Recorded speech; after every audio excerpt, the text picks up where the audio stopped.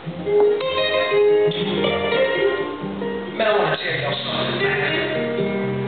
Man, I'm not going to let these material things get in my way, y'all. I'm trying to get somewhere.